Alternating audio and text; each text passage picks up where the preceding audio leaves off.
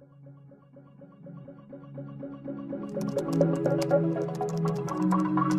you.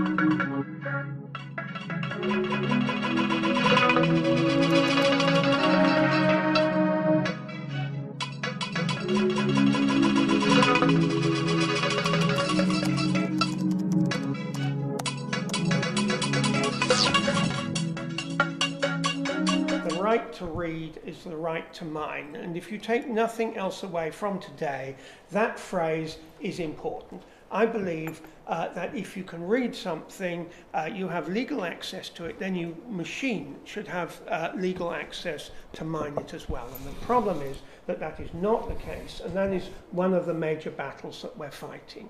And the current reforms go a little bit towards it, but they do not uh, cover it completely. And this is the organisation I've set up, contentmind.org. It's open, non, uh, non-profit under the Shuttleworth. Okay, so I have been very inspired by the fight that Nelly Kroes and more recently uh, Julia Reda have uh, carried out in Europe, and they have driven this agenda for reform uh, and the global availability of knowledge of all sorts, but particularly science in, the, um, uh, in Europe.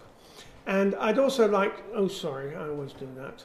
Um, uh, I'd also like to highlight uh, the young people that I've had the privilege to work with, young people of the future, and they have pioneered much of what I'm going to talk about. So I'm going to give you three or four cases of content mining, um, and um, uh, ones that I think you will all um, understand. Um, so we'll go on to these now. The first is obesity, and here is my uh, symbol for obesity, um, with a rather extended um, tummy. Uh, University of Cambridge. So the University of Cambridge has an epidemiology department uh, which has to read the literature, and they have to read 10,000 papers and decide which of them are valuable. And uh, they have 20 seconds to read this amount of stuff and decide whether it is about obesity or not. And you'll see that they have highlighted it. It's got words like body mass um, and mortality risk and um, uh, so on. But they have to do it without this help. And actually, a scientific paper is a very badly presented document. Uh, scientific publishing actually degrades information rather than adds to it. This paper might be 10 pages. Uh, and uh, Polly, that's not her real name, um, uh, gave me this today. They had to do 10,000 abstracts um, and they had six people working intensely. Um, imagine reading 16, 1,600 papers in two and a half days. uh, this stuff. It's turgid.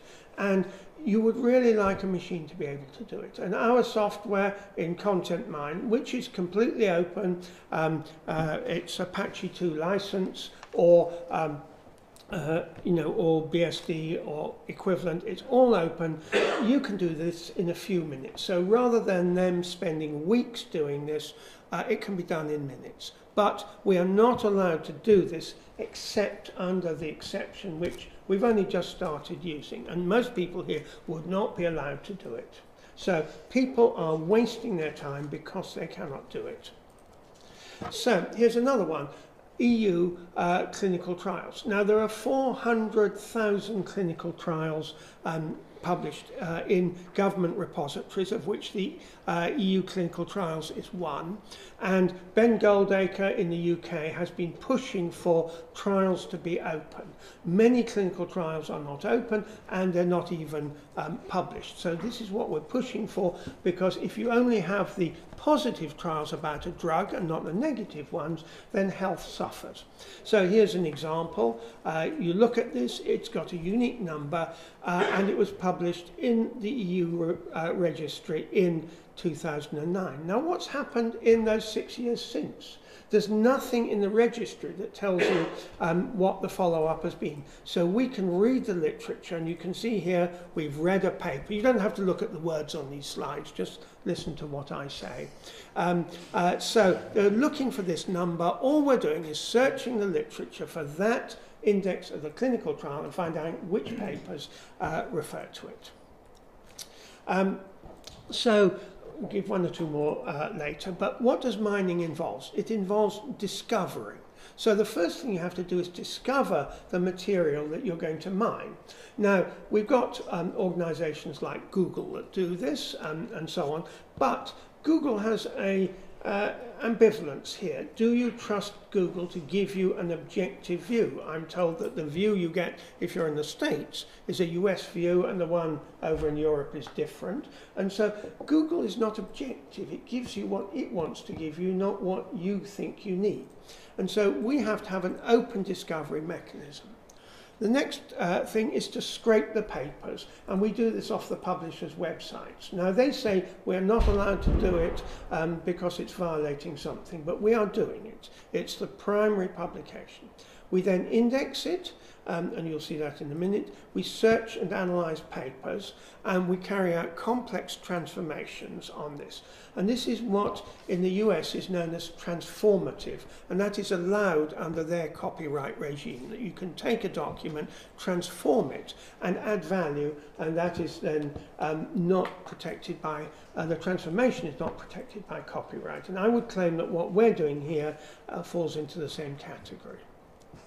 So what is content? Well, the words are text and data, but in a scientific paper, this is a bit of text here, but most of the rest of the paper is diagrams or mathematical equations or maps or tables, and that is often the most valuable bit in the paper.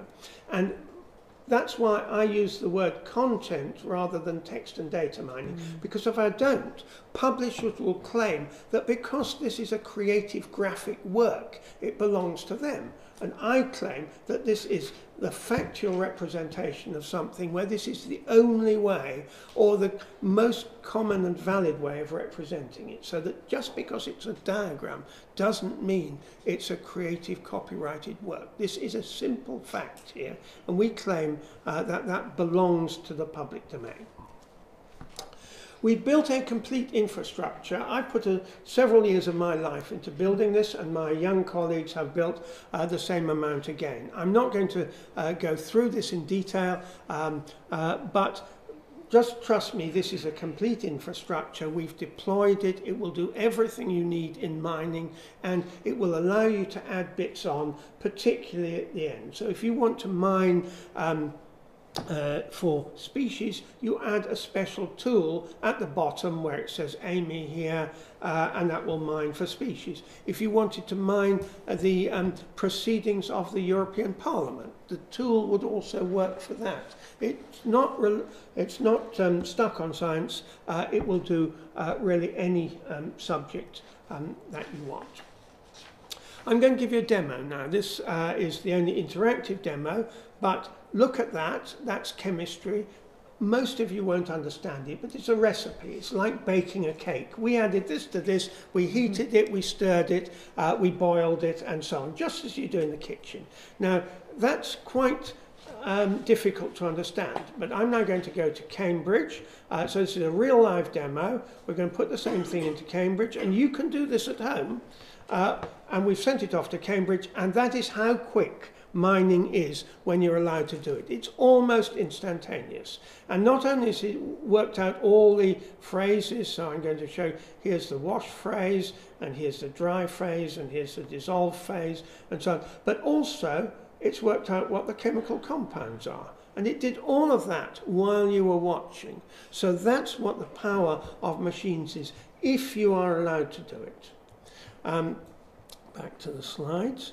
Um, we've done this for patents. Um, uh, we've done this for uh, half a million patents, and we get a very high degree of accuracy. But we can't do it on the chemical literature because the chemical publishers claim that it's their copyright. And Elsevier, if you mine their stuff, specifically says that you must not compete with our products in the marketplace and one of their products is called Reaxys, which is a chemical database. And so if I sign their um, uh, permission, which I am not going to, uh, then um, I would be debarred from publishing any chemistry because it might uh, uh, impact on their product in the marketplace.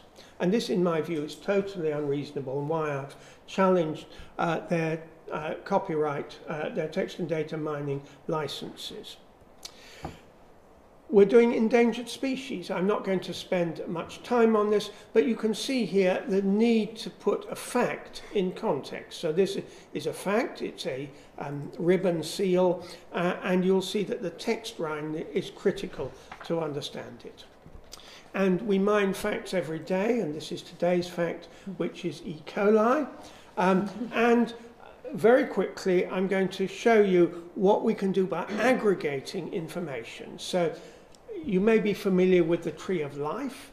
Uh, the, uh, here's us animals, okay, and here is um, an endangered species. That's a Danish polar bear in Greenland.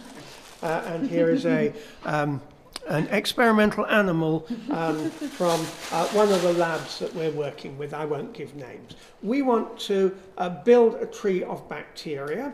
So uh, we've taken 5,000 papers. Uh, we've read those from the literature. We've extracted the image out of each of them. We've done some, uh, I'm quite proud of this, some very uh, advanced mining of this because this is all pixels.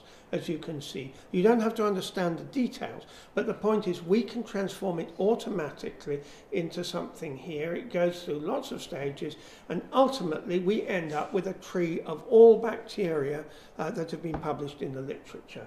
Um, and uh, here's a rather pretty picture of it. So it's pulled all those papers together, but technically during that I have almost certainly violated copyright. I cannot do this work without violating copyright, that's the point. And there we are. We can't do reproducible mining without it. And the Hargreaves legislation, which is very important because it gives us the moral authority to go ahead. It still gives us very little power to publish. We can't tell you what we did because if we published it, we would publish stuff where copyright was claimed. And that's the real problem for a scientist. So they actually have to say, well, we can't tell you how we did it because otherwise we would be breaking uh, copyright. And that's a terrible thing for a scientist to have to do, not publish uh, what they feel they want to publish. I'm sorry that the publishing industry has been so unhelpful over this. After the legislation in the UK came out, they spent their effort uh, trying to produce licenses for Europe, uh, trying to um, uh, you know, discredit everything what was done. There's not a single major publisher who's done anything positive in here. And I simply use this. If you trust Microsoft, then trust Elsevier. If you trust Facebook, trust uh, uh, Mendeley. It's as simple as that. I don't think any major sector can be trusted uh, uh, implicitly without serious checks on it. And there are no checks.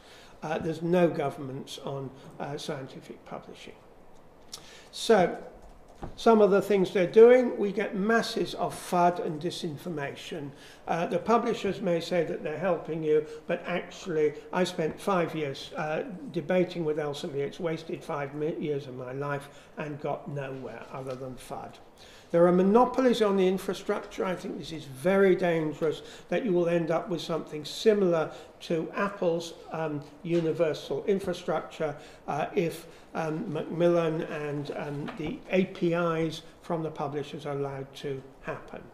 Uh, and all libraries are persuaded into uh, signing restrictive contracts. If the university libraries, and here I would commend LIRU and LIBA and other organisations, if they can make their uh, members say, no, we are not going to sign these restrictive uh, clauses in the contracts because they don't have to, um, uh, then we would be a long way forward. Here's a typical example. Wiley, to be helpful to researchers, has introduced a CAPTCHA. So every 25 um, uh, papers, you have to type in a CAPTCHA. Um, and uh, if uh, and they have a limit of uh, 100 papers a day. Imagine we were going through, uh, you know, 100,000 papers for um, clinical trials, as you've seen. That's three years to go through Wiley because you would only be allowed to mine 100 a day. That's the issue. And of course, they say, well, we'd be terribly helpful and give you exceptions. But everybody who has dealt with publishers knows that it takes years for them to respond to individuals asking uh, for things. And there are hundreds of publishers. So, my last slide um, we see libraries as uh, one of the major solutions here, but libraries have got to stand up and fight for our rights. So we're working in Cambridge, we've got some uh, very forward-looking libraries there. Um, we're working with Cochrane um, next week on systematic trials. We're very grateful to LIBER, which has done a wonderful job in pushing this forward, and we are part of their uh, future TDM program um, and uh, H2020 program, and that's wonderful. And Content Mine uh, provides workshop and training in this area, so if any of you are interested in having internal or public training, we'd be delighted to do it and thank you very much for the um, invitation.